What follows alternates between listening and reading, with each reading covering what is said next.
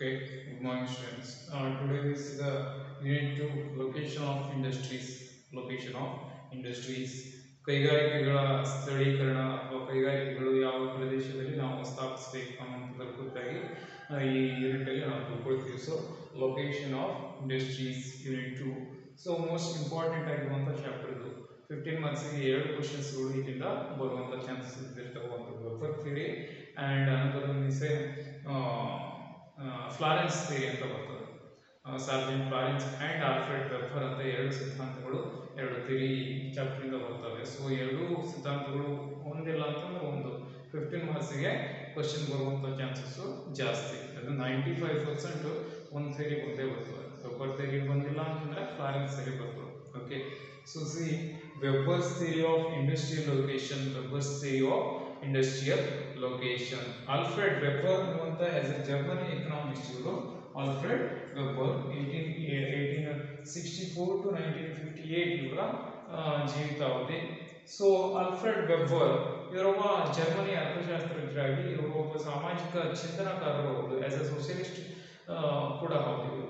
ಇವರು ಏನು ಪ್ಲಾನಿಂಗ್ ತಗೋತಾರೆ ಅಂತ ಕೇಳಿದ್ರೆ ಇಂಡಸ್ಟ್ರಿಯಲ್ ಲೊಕೇಶನ್ ಅಂತ ಬಂದಾಗ, ಕೈಗಾರಿಕೆಗಳ ಸ್ಥಳೀಕರಣ ಅಂತ ಬಂದಾಗ ಯಾವ ಪ್ರದೇಶದಲ್ಲಿ ನಾವು ಕೈಗಾರಿಕೆಗಳನ್ನು ಸ್ಥಾಪಿಸಬೇಕು?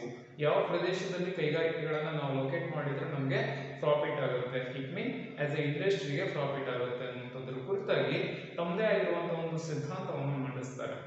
ಅವರ ಸಿದ್ಧಾಂತ theory of the location of industries published in nineteen nine nineteen nine so theory of the location of industries published in nineteen nine ಹತ್ತೊಂಬತ್ತು ನೂರ ಒಂಬತ್ತರಲ್ಲಿ ತಮ್ಮ ಸಿದ್ಧಾಂತವನ್ನು ಅಂದ್ರೆ ಈ ಕೈಗಾರಿಕೆಗಳ ಸ್ಥಳೀಕರಣಕ್ಕೆ ಸಂಬಂಧಪಟ್ಟಿರುವಂತಹ ಸಿದ್ಧಾಂತವನ್ನು ಹತ್ತೊಂಬತ್ತು ನೂರ ಒಂಬತ್ತರಲ್ಲಿ ಇವ್ರು ಏನ್ ಮಾಡ್ತಾರೆ ಪಬ್ಲಿಷ್ ಮಾಡ್ತಾರೆ. ಸೊ ಅದರ ನಂತರದಲ್ಲಿ ಕೈಗಾರಿಕೆಗಳಿಗೆ ಸಂಬಂಧಪಟ್ಟಂತೆ, ಅಂದ್ರೆ ಕೈಗಾರಿಕೆಗಳ ಸ್ಥಳೀಕರಣಕ್ಕೆ ಸಂಬಂಧಪಟ್ಟಂತೆ ಹಲವಾರು ಸಿದ್ಧಾಂತಗಳು ಬಂದಿರ್ತವೆ. ಬಟ್ ಇಷ್ಟು ಪ್ರಚುರಪಡಿಸಿರುವಂತಹ ಸಿದ್ಧಾಂತ ಅಲ್ಲ. ಇವರು ಆದ ನಂತರ ತರುವಾಯ ಫ್ಲಾರೆನ್ಸ್ ಬರ್ತಾರೆ. ಸಾರ್ಜೆಂಟ್ ಫ್ಲಾರೆನ್ಸ್ ಬರ್ತಾರೆ ಒಂದು ರೀತಿಯ ಸಿದ್ಧಾಂತವನ್ನು ಹೇಳ್ತಾರೆ. ಬಟ್ ಇವ್ರ ಸಿದ್ಧಾಂತದ ಪ್ರಕಾರ ಈ ಕೈಗಾರಿಕೆ, ಕೈಗಾರಿಕೆಗಳ ಸ್ಥಳೀಕರಣ ಅನ್ನುವಂಥದ್ದು ಕೇವಲ ಎರಡೇ ಎರಡು ಅಂಶಗಳ ಆಧಾರದ ಮೇಲೆ ನಾವು ನಿರ್ಧರಿಸಬೇಕು ಅಂತ ಹೇಳ್ತಾರೆ.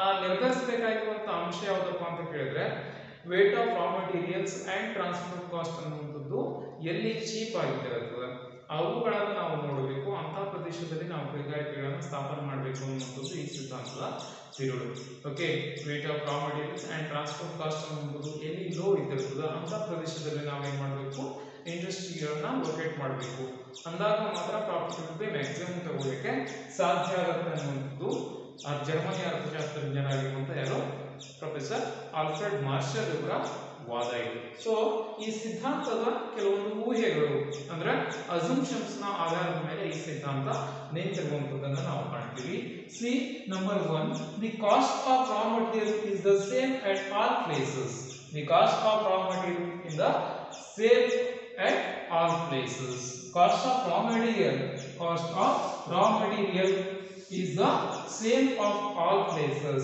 ಅಂದ್ರೆ ಕಚ್ಚಾ ಸರಕಿನ ಬೆಲೆ ಏನಿದೆ, ಎಲ್ಲಾ ಪ್ರದೇಶದಲ್ಲಿಯೂ ಕೂಡ ಒಂದೇ ಇದೆ ಅಂತ ನಾವು ಅಸೂಮ್ ಮಾಡ್ಕೋಬೇಕು ನಂಬರ್ ಒನ್ ಅಸಂಪ್ಷನ್ ಬಂದು the cost of raw material is the same at all places ಎಲ್ಲ ಪ್ರದೇಶದಲ್ಲಿಯೂ ಕೂಡ ಕಚ್ಚಾ ಸರಕಿಗೆ ಇರುವಂತಹ ಬೆಲೆ ಏನಿದೆ, ಒಂದೇ ಆಗಿರುತ್ತದೆ ಅನ್ನುವಂಥದ್ದು ಮೊದಲನೆಯ ಅಸಂಪ್ಷನ್ ಆಗಿರುತ್ತದೆ and point number two transport cost depends upon rate rate of the material rate of material transport cost depend ಆಗಿರುವಂಥದ್ದು ಯಾವುದ್ರ ಮೇಲೆ ಅಂತ ಕೇಳಿದ್ರೆ, ಆ ಮಟೀರಿಯಲ್ನ ವೇಟೇಜ್ ಮೇಲೆ ಡಿಪೆಂಡ್ ಆಗಿದೆ. ಫಾರ್ ಎಕ್ಸಾಂಪಲ್ ಇವಾಗ ಲೋ ಇರುವಂತ ಲೋಯೆಸ್ಟ್ ವೇಟೇಜ್ ಹೊಂದಿರುವಂತ ರಾ ಮಟೀರಿಯಲ್ಗೆ ನಾವು ಲೋ ಚಾರ್ಜಸ್ ಅನ್ನು ನಾವು ಅಪ್ಲೈ ಮಾಡುವಂಥದ್ದು. ಅವೇ ಹೆವಿ ರಾ ಮಟೀರಿಯಲ್ ತಗೊಂಡು ಅಂತಿದ್ರೆ ಅವಕ್ಕೆ ಜಾಸ್ತಿ ಅಪ್ಲೈ ಮಾಡುವಂಥದ್ದು. ಸೊ ಇವ್ರು ಏನ್ ಹೇಳ್ತಾರೆ?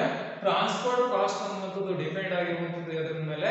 ಆ ಒಂದು ರಾ ಮಟೀರಿಯಲ್ನ ಅಥವಾ ಆ ಒಂದು ಮಟೀರಿಯಲ್ನ ವೇಟೇಜ್ ಮೇಲೆ ಡಿಪೆಂಡ್ ಆಗಿದೆ ಅನ್ನುವಂಥದ್ದು ಇವರ ವಾದ and next one is transport cost depends upon distance of transport of the material transport cost depends upon distance of the transport of the material ಇನ್ನೊಂದು ಹಂತದಲ್ಲಿ ಹೋಗಿ ಇವ್ರು ಏನ್ ಹೇಳ್ತಾರೆ? ಒಂದು transport cost depends upon the ಯಾವುದು? Weightage of the materials and transport cost cost depends upon the distance of the transport of the material ಎಷ್ಟು ದೂರ ನಾವು ಸಾಗಿಸ್ತೀವಿ ಅನ್ನೋದ್ರ ಮೇಲೆ ನಮ್ಮ ಸಾರಿಗೆ ವೆಚ್ಚವನ್ನು ನಾವು ನಿರ್ಧರಿಸ್ತೀವಿ. ನಂಬರ್ ಒನ್ ಬಂದು ಅಸಂಪ್ಷನ್ ಅಲ್ಲಿ ನಂಬರ್ ಒನ್ ಬಂದು ಯಾವುದು? The cost of raw materials is the same at all places and number two transport cost depends upon the ಯಾವುದು? Weightage of the material transport cost depends upon the distance of the distance of the material ಅಂದ್ರೆ transport ಮಾಡುವಂತ distance ಏನಿದೆ, ಅವುಗಳ ದೂರದ ಆಧಾರದ ಮೇಲೆ ನಾವು ಅದನ್ನ ನಿರ್ಧರಿಸ್ತೀವಿ. ಸಾರಿಗೆ ವೆಚ್ಚ ಅನ್ನುವಂಥದ್ದು ನಿರ್ಧರಿಸ್ತೀವಿ ಅನ್ನುವಂಥದ್ದು ಒಂದು ಊಹೆ.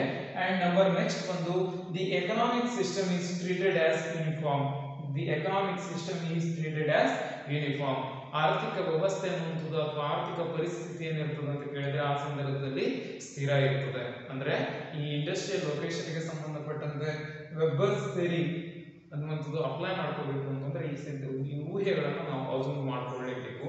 ಸೊ ಅಜೂಮ್ ಮಾಡ್ಕೊಳ್ಳುವಾಗ ನಾವು ಟ್ರಾನ್ಸ್ಪೋರ್ಟ್ ಕಾಸ್ಟ್ ಅನ್ನುವಂಥದ್ದು ಯಾವುದ್ರ ಮೇಲೆ ಡಿಪೆಂಡ್ ಆಗಿದೆ ಅಂತ ಹೇಳ್ತಾರೆ ಅವರು.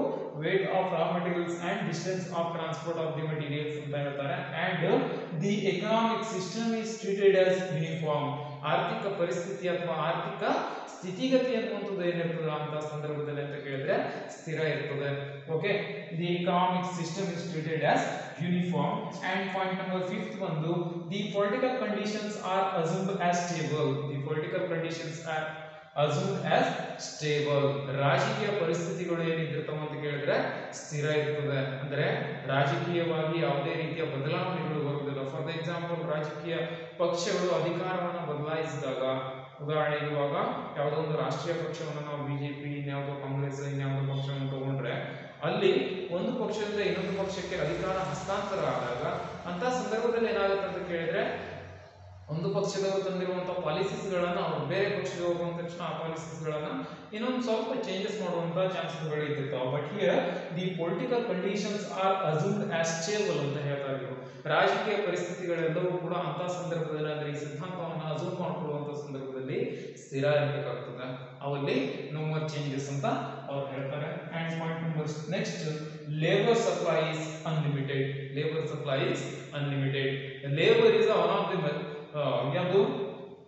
ಮೇಜರ್ ಫ್ಯಾಕ್ಟರ್ ಆಫ್ ಪ್ರೊಡಕ್ಷನ್ ಅಂತ ಈ ಸಿದ್ಧಾಂತದಲ್ಲಿ ಹೇಳ್ತಾರೆ. ಅಂದ್ರೆ ಪ್ರೊಡಕ್ಷನ್ ಫ್ಯಾಕ್ಟರ್ ಅಲ್ಲಿ ಲೇಬರ್ ಅನ್ನುವಂಥದ್ದು ಮೋಸ್ಟ್ ಇಂಪಾರ್ಟೆಂಟ್ ಆಗಿರುವಂತಹ ಒಂದು ಅಂಶ ಅಂತ ಹೇಳ್ತಾರೆ. ಸೊ ಹಾಗಾಗಿ ಲೇಬರ್ ಸಪ್ಲೈ ಇಸ್ ಅನ್ಲಿಮಿಟೆಡ್ ಹೇಳಿ ಕೇಳಿ ಲೇಬರ್ ಅನ್ನುವಂಥದ್ದು ಮೋಸ್ಟ್ ಇಂಪಾರ್ಟೆಂಟ್ ಆಗಿರುವಂತಹ ಅಂಶ ಅಂತ ಹೇಳ್ತಾರೆ. ಆದರೆ ಲೇಬರ್ ಸಪ್ಲೈ ಅನ್ನುವಂಥದ್ದು ಅನ್ಲಿಮಿಟೆಡ್ ಆಗಿದೆ. ಎಷ್ಟು ಬೇಕಾದರೂ ಅಷ್ಟು ಲೇಬರ್ಸ್ ಅನ್ನು ನಾವು ಬಳಸ್ಕೊಂಡು ಪ್ರೊಡಕ್ಷನ್ ಅನ್ನ ಮಾಡಬಹುದು ಇಂಡಸ್ಟ್ರೀಸ್ ಅನ್ನ ಬೆಳೆಸಬಹುದು ಅನ್ನುವಂಥದ್ದು ಅವರ ವಾದ.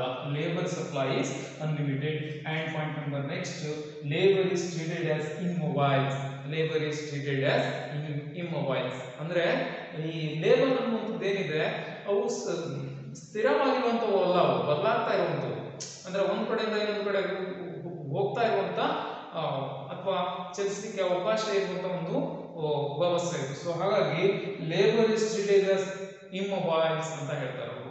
And last one is a wage rates are remain unchanged wage rates are remain unchanged ಅಂತ ಹೇಳ್ತಾರೆ. ಅಂದ್ರೆ ಕೂಲಿಯ ಮೊತ್ತ ಏನಿದೆ ಅವು ಬದಲಾಗಲಿಕ್ಕೆ ಸಾಧ್ಯ ಇಲ್ಲ. ಯಾಕೆ?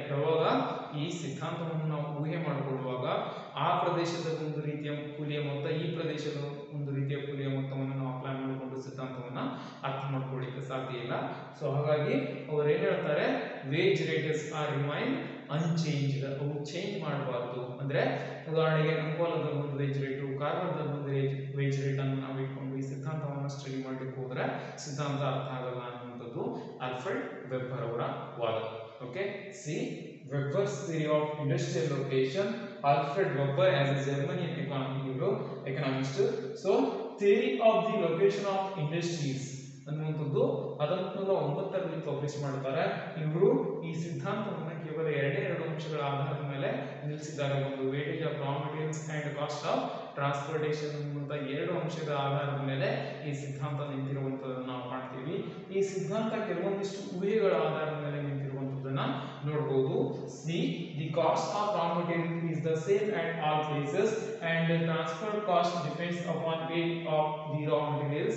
Sorry, weight of the materials. And uh, number three, ಬಂದು trans, uh, transport cost depends upon distance of transport of the material and the economic system is treated as uniform and uh, uh, The vertical conditions are assumed as stable and uh, labor supply is unlimited. Labor is treated as immobile and wage rates are remain unchanged. These are all assumptions. Okay, the assumptions are apply ಮಾಡ್ಕೊಳ್ತೀವಿ ಅವಾಗ ಮಾತ್ರ TV. ಸಿದ್ಧಾಂತ ಅರ್ಥ ಮಾಡ್ಕೊಳ್ಳಿಕ್ಕೆ ಸಾಧ್ಯ ಇದೆ next ನಾವು next ಪಾರ್ಟಿನ ಸಿದ್ಧಾಂತವನ್ನು ನೋಡೋಣ ಥೇರಿ ಫಾರ್ಟ್ ಏನಿದೆ ಅನ್ನೋದನ್ನು ನೆಕ್ಸ್ಟ್ ಕ್ಲಾಸಲ್ಲಿ ನೋಡೋಣ okay thank you thank you for